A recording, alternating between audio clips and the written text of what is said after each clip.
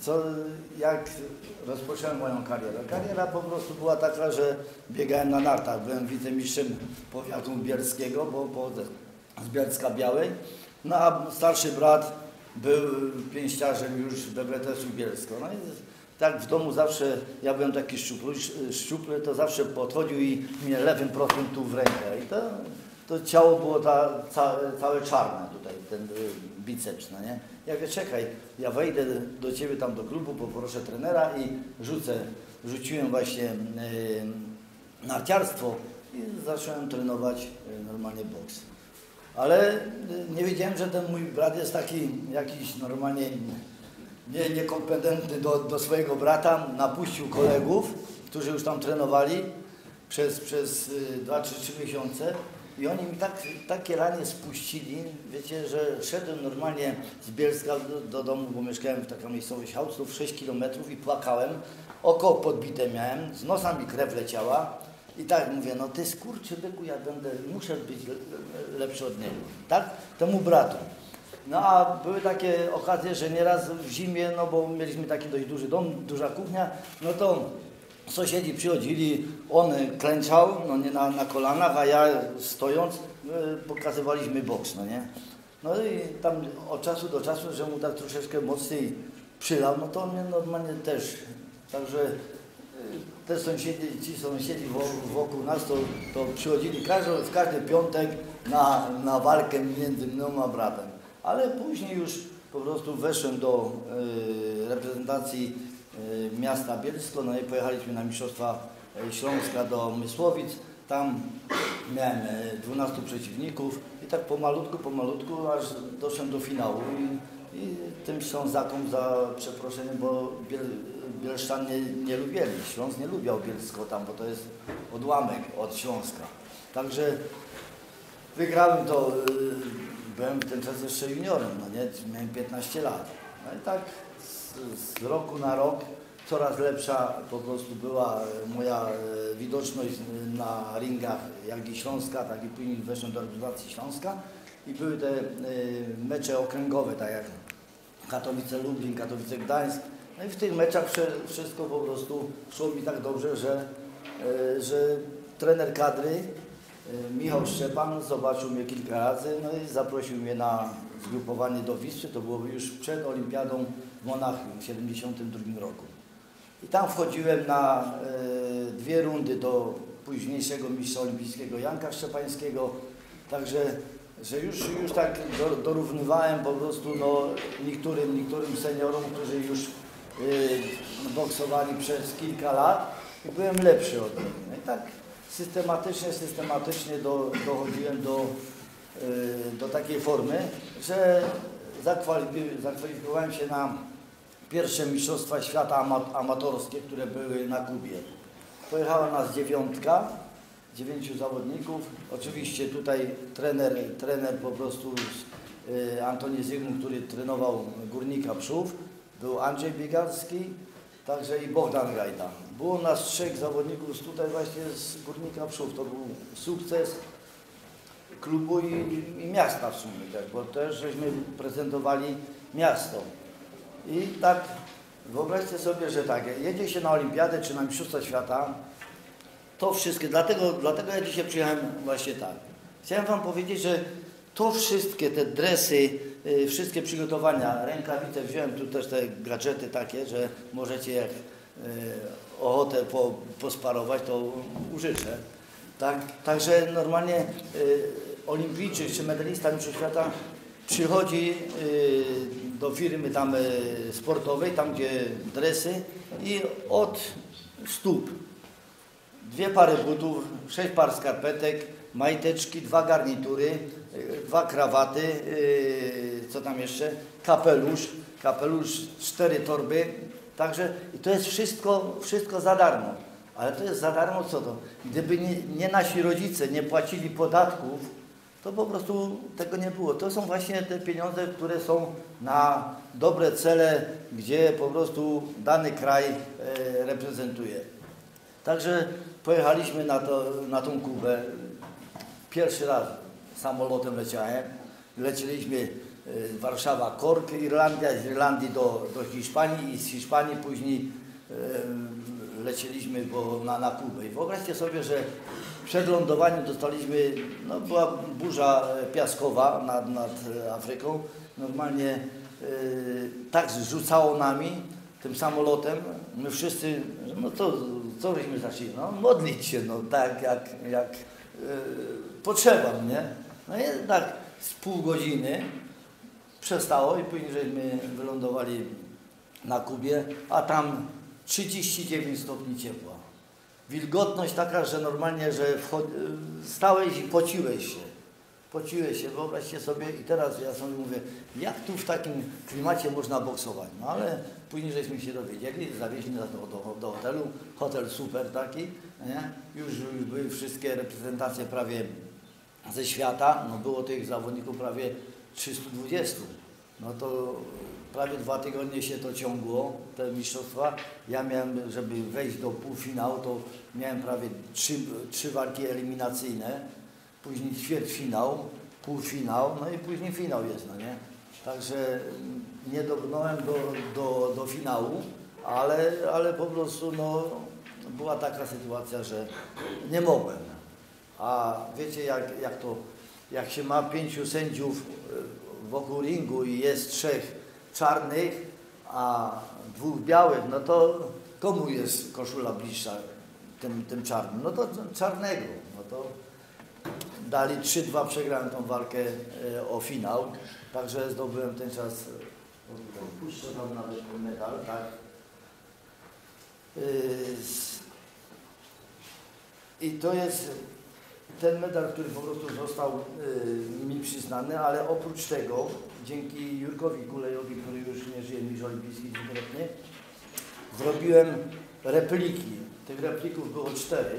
Jedna, jedna poszła na Orkiestrę Świątecznej Pomocy, gdzie po prostu dałem i, i była suma 10 tysięcy złotych. To był 75 rok.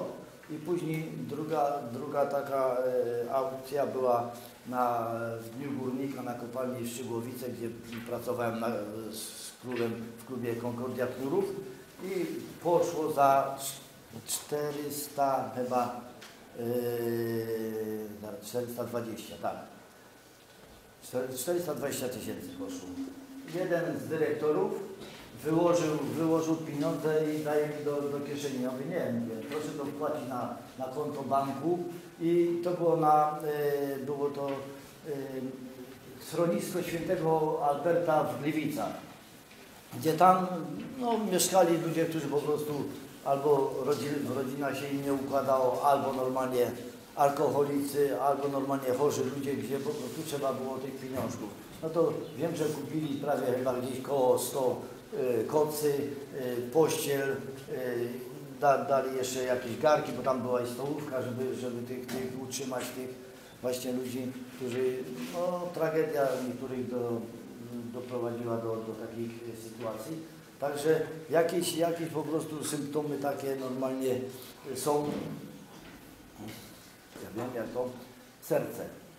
A serce dla kogoś to tak jakbym kochał dziewczynę. To tak u mnie jest takie coś.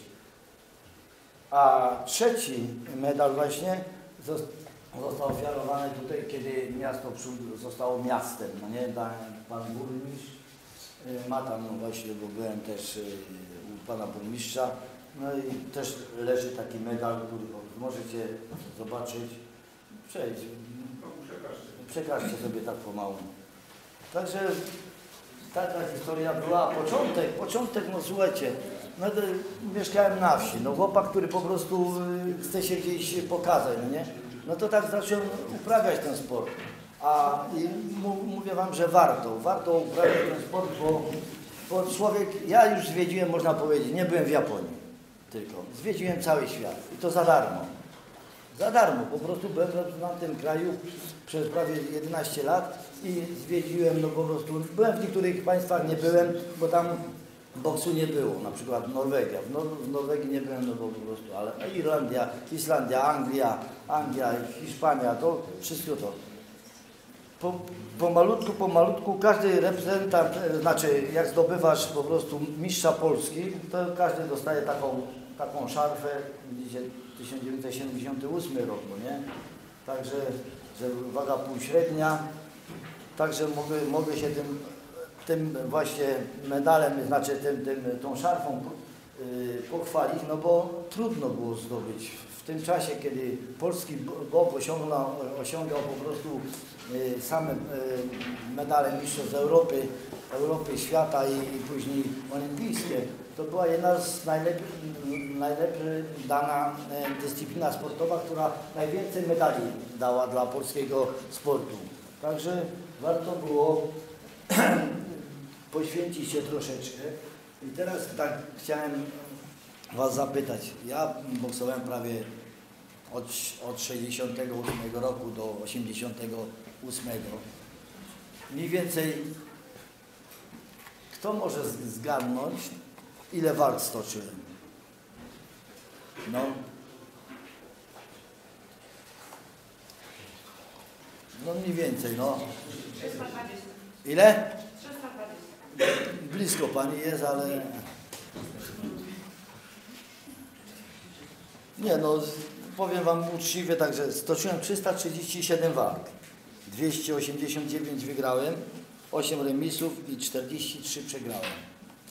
To, że, że po prostu no, byłem takim chłopakiem, który po prostu nie odpuszczał nikomu.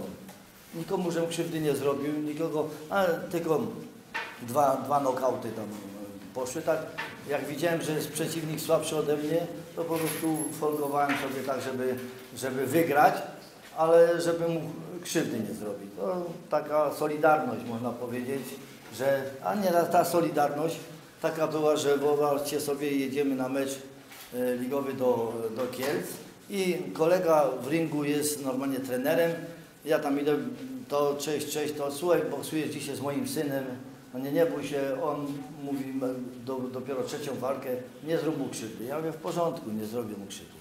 No i wyobraźcie sobie, wchodzimy do, do, do ringu, no nie, sędzia woła do środka, no nie, i boks.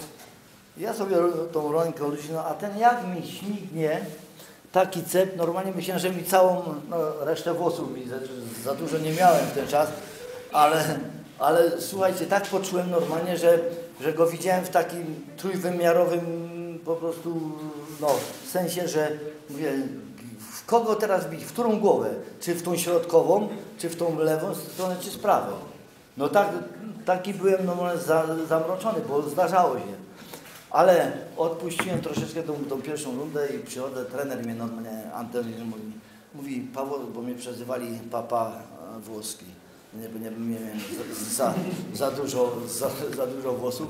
Mówi, co ty robisz? Mówi, kurczę, ty tu wchodzisz, no nie, wchodzisz, no nie, y, trzeba punkty robić, bo wygrałam walkę, to już jeszcze jeden musi wygrać i walimy, mamy druż- y, mistrza Polski, no nie? No i kurczę, po tej wody mi tam za, na, na kręgosłup dał trochę tam. Wyszedłem, ja śmigłem teraz, mówię, nie, nie będę po prostu kolegą, jakżeś ty taki, można powiedzieć, świnia za przeproszeniem, napuściłeś syna, żeby, żeby mnie równą zaraz w pierwszej rundzie, no to masz. I, i mówi, no coś zrobił, ja mówię, co? Napuściłeś syna, ja oddałem mu to. No i znowu, właśnie to był mój pierwszy, pierwszy normalnie ten knockout, który, który wygrałem przez, przez knockout zawodnikiem, ale nie żałuję tego. Co jeszcze ciekawe? Później już, no po tym mistrzostwach świata oczywiście, mówię Wam, przepiękna, ta Kuba, no przepiękna, zwie, zwiedzaliśmy po prostu, co, co było do południa, zazwyczaj walki się no, rozpoczynały gdzieś o godzinie 19 do prawie do 24.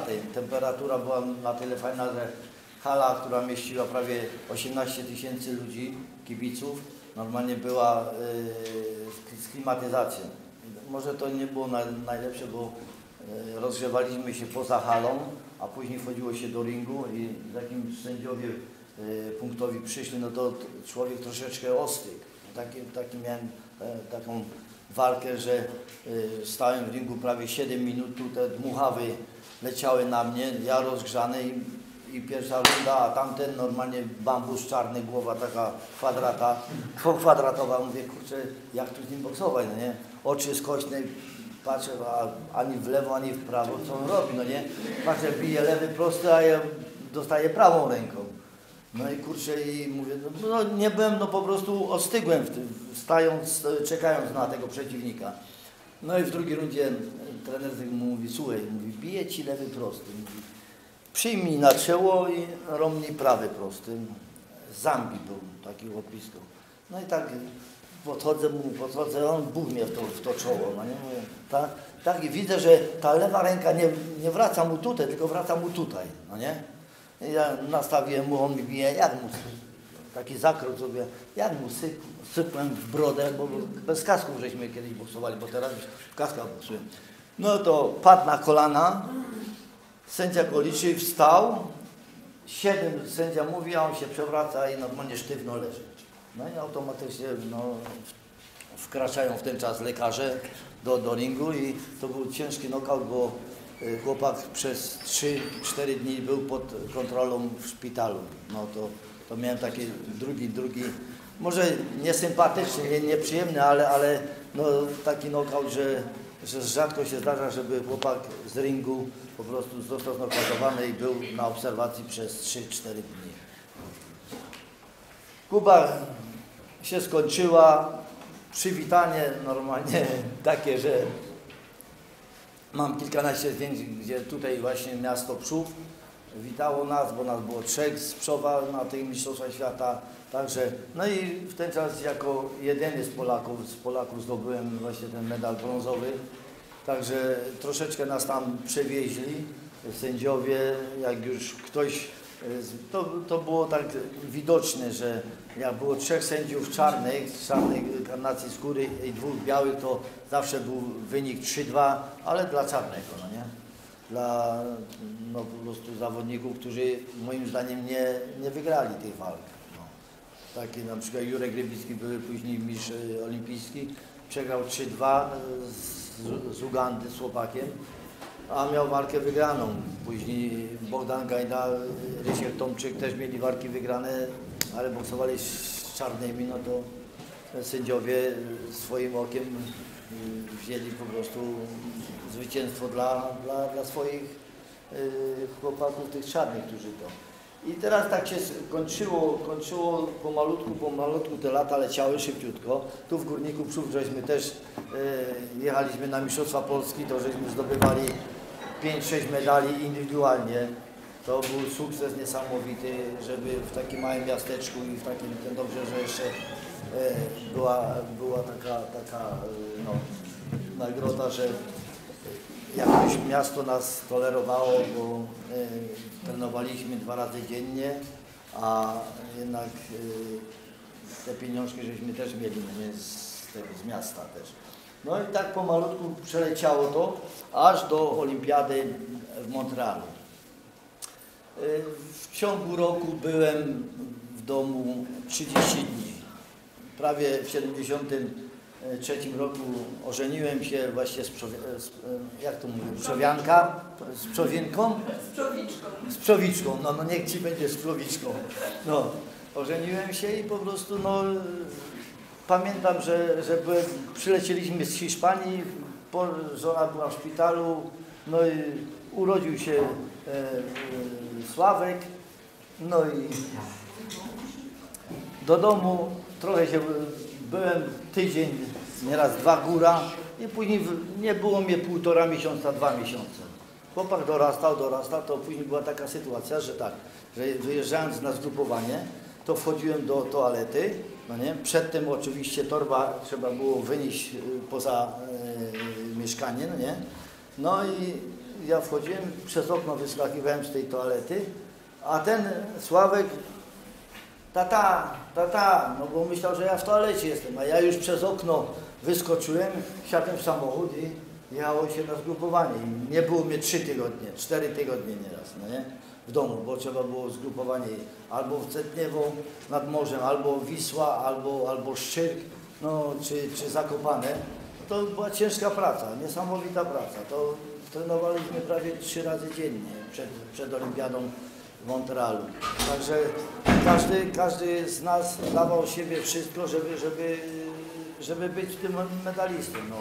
Nie udało się mi po prostu tak, bo też w sumie, w sumie wygrałem już dwie walki, byłem w ćwierćfinale i spotkałem właśnie tego y, zawodnika, który, który po prostu mieliśmy w 75 roku byliśmy na e, rekonansie w Stanach Zjednoczonych i w Kanadzie. Tam byliśmy prawie półtora miesiąca i miałem różnych zawodników tych amerykańskich, z którymi, z którymi po prostu wygrywałem. Wszyscy, nas było trzech tylko, które, które żeśmy tam y, powygrywali. Ja trzech Amerykanów pokonałem, później dwóch Kanadyjczyków. Także pięć walk wygrałem na tym, na tym rekonesansie, żeby, żeby po prostu nasz organizm trenował tam, bo bliziutko, bo Mo- Montreal był blisko. Także że, różnica czasu była 8 godzin, także trzeba było być przygotowany na to. No i była taka, taka sprawa, że cały, cały, było nas w sumie tych olimpijczyków dość dużo, prawie 337, wszyscy ubrani jednakowo, wszyscy po prostu no, y, byli po prostu przygotowani do, do tego, do występu na, na najwyższym poziomie. No i tam właśnie koledzy też jak właśnie w ten czas, w ten czas złoty medal Jurek Rybicki zrobił, była to była niesamowita frajda. I tak się to kończyło. Po, po malutku, no widzicie, 337 pojedynków. Niektórzy mówią, że, że to jest y, bardzo dużo, no nie? Ale nie, ja nie odczuwałem to. Nie paliłem papierosów, nie piłem wódki, nie piłem piwa. Y, Byłem po prostu typowo, typowo sportowiec. Taki, że godzina dziewiąta wieczorem ja już spałem, bo najlepiej się wypoczywa między od, 9 do, do, do godziny tam 20, y, do pierwszej. Także te, te dni mi tak uciekały, tak uciekały, że, że było koniec, no po prostu nie wiedziałem, co, co później z sobą zrobić, no nie? I, i mówię tak, no jak już jeżdżę po tych zgrupowaniach, no to zrobię sobie kurs trenerski na Akademii Wychowania Fizycznego y, we Wrocławiu dwa lata.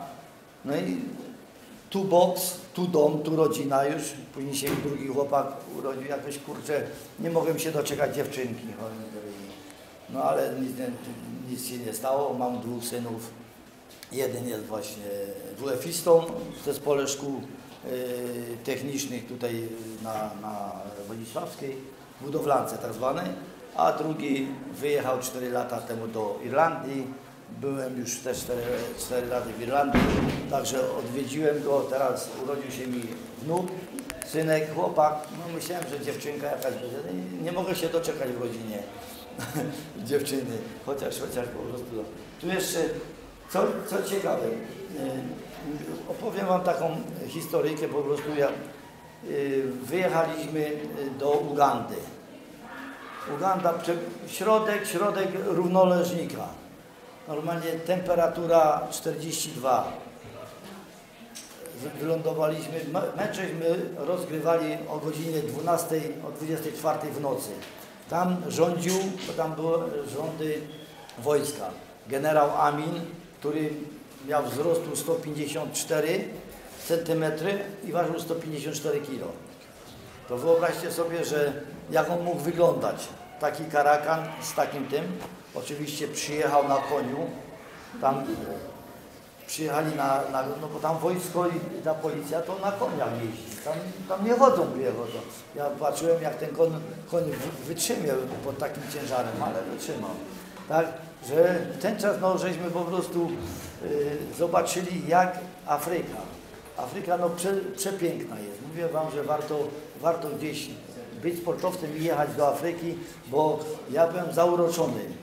Byliśmy na safari, gdzie e, jeden z trenerów palił papierosa.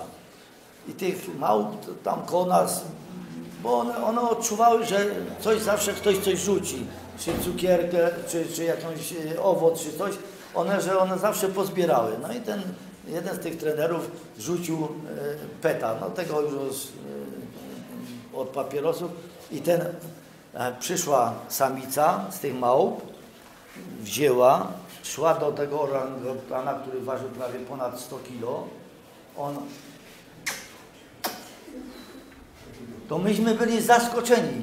No jak, jak normalnie orangutan, który po prostu, no nie wiem, mo, może, może coś takiego, jakieś zdarzenia były, że normalnie, że ktoś też rzucił i że on wiedział, że trzeba wsadzić do pyska i normalnie pociągnąć i nosem wypuścić. No mówię wam, że i co ciekawe, że on, on później dopominał się, bo trzy razy machnął już, już ten pet, bo już, już, już go e, w palce poparzyło, rzucił tym i mówi tak, y, y, tak rękami pokazuje, łapami, mówi, żeby mu dać jeszcze jednego, no nie? No i ten, ten sędzia, bo to był sędzia prawie, wyciągnął ten papieros, podeszedł do niego, ten taki ten olbrzym, ten tak go po głowie pogłaskał, wziął sobie to i tak.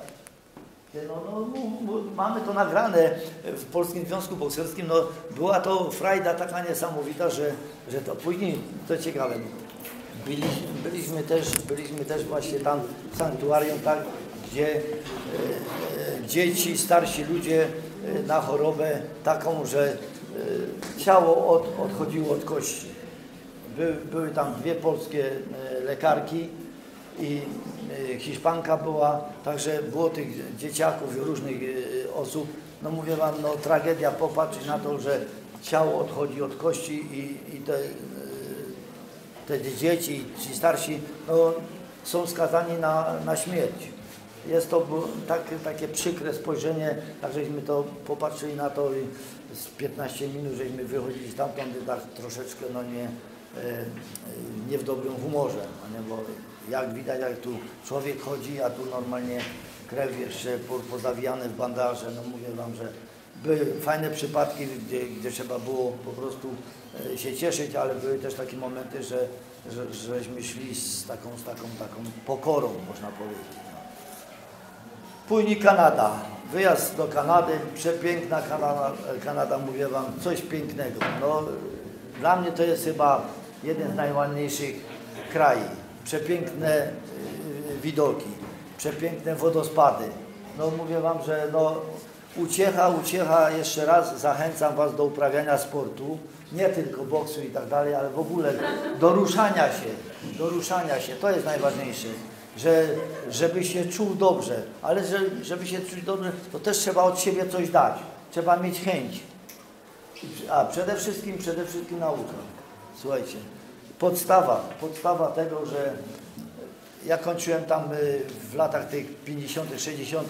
Popatrzcie, teraz jedyne, co, y, co żeśmy się po- posługiwali, to tylko językiem y, rosyjskim, no nie? A teraz normalnie masz w szkołach angielski, francuski, niemiecki, hiszpański. Uczcie się, uczcie się chociaż jednego języka. Zachęcam Was, bo po prostu, bo jedziesz później w ciemno gdzieś i normalnie nie wiesz jak się posługiwać, co spytać, no nie, jak się to nazwa, czy coś. No, no, no, no tak, żeśmy tak, tacy byli prawie oszołomieni, ale no nasza wina, bo ja też mogłem sobie angielski się uczyć, bo stać mnie było na to, żeby, żeby to, ale no cały czas był człowiek prawie poza domem, no i na zgrupowaniach nie było, chociaż na zgrupowaniach też po, już przy końcu, ja e, poprosiłem trenerów, żeby załatwili normalnie e, panią e, jakąś magister albo coś, żeby z, z języka niemieckiego, bo bardzo często żeśmy jeździli na zgrupowania do, do Frankfurtu i, i z angielskiego, żeby chociaż po prostu raz czy dwa razy w tygodniu, żebyśmy po prostu nie byli gamonie takie w innych państwach, że, że nie umiemy się po prostu do, dogadać z ludźmi, a ludzie na całym świecie po prostu pragną tego, żeby, żeby być blisko siebie i rozmawiać o, o różnych problemach. Pomalutku, pomalutku, co, co jeszcze tak jest? Zazwyczaj no, jak, jak się, się jest dobrym sportowcem, to otrzymuje się różne medale. Zobaczcie, to jest srebrny krzyż zasługi, tak, taki też dostałem. Tu jest zasłużony mistrz sportu, złota odznaka tego. Także i tu złote rękawice, bo przez 2-3 lata byłem e, na, e, w rankingu w Europie, w Europie byłem na pierwszym miejscu, a w świecie byłem na drugim w 74, 75 w swojej kategorii. Także byłem przez pewien czas. A, I tu jest, tu jest właśnie medal taki, że y, Polonia kanadyjska y, zauważyła, że na y, olimpiadzie właśnie w, tym, w Montrealu przegrałem z Amerykaninem 3-2.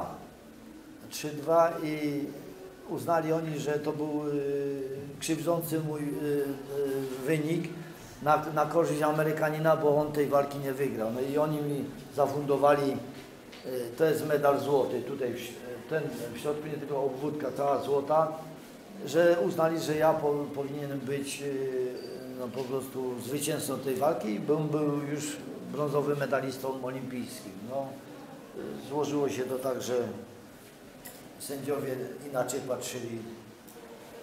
Co, co jeszcze? Po prostu jeszcze Was, jeszcze raz zachęcam Was do uprawiania sportu.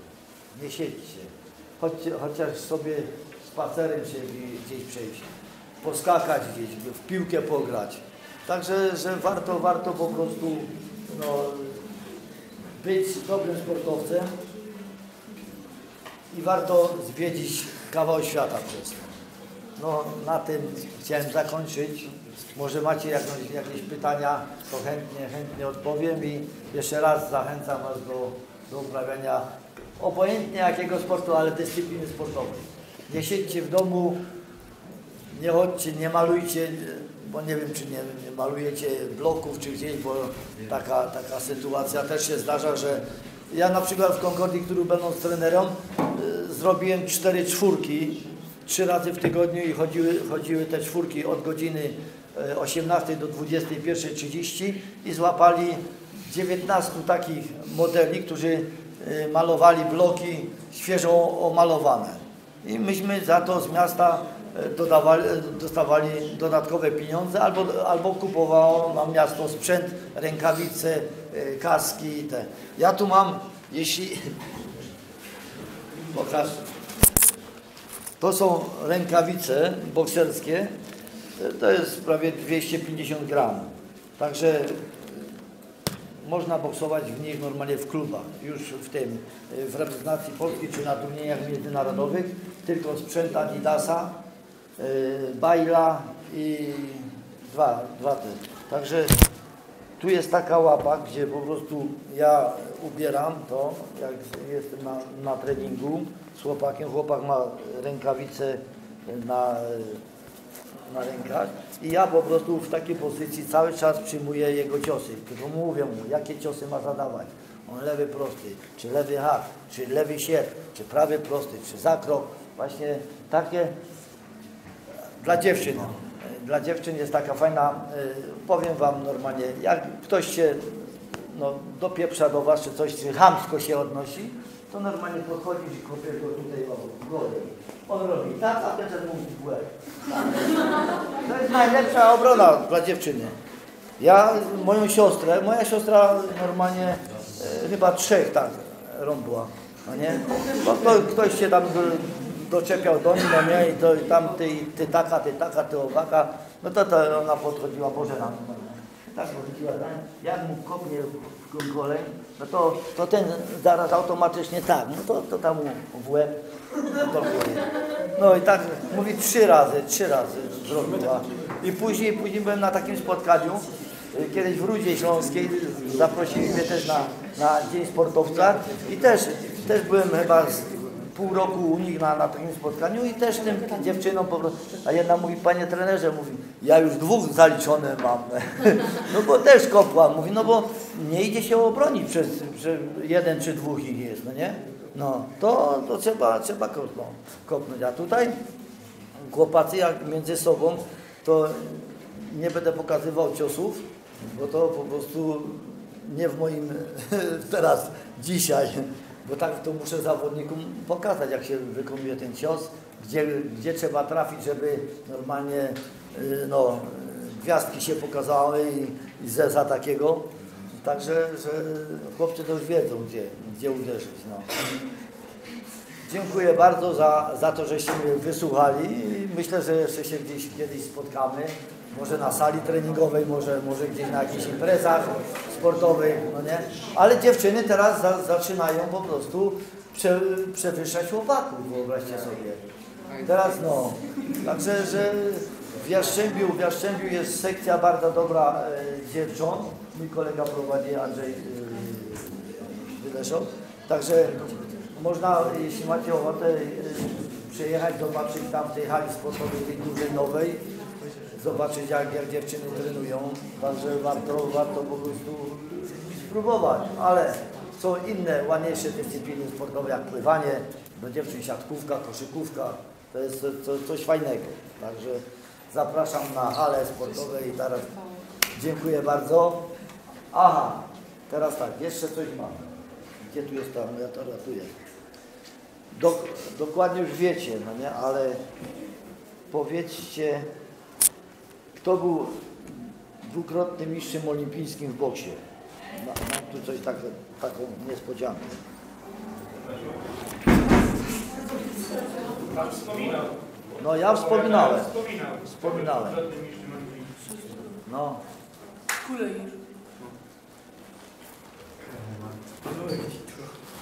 No to masz, masz ode mnie takie miniaturki ze Śląski Książek Brukselski. Tak, i tu masz autografy moje, proszę bardzo, bardzo, bardzo fajnie.